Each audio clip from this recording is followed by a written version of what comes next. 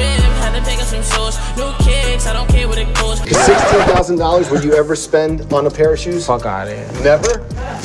Never. I know niggas struggling to pay their rent.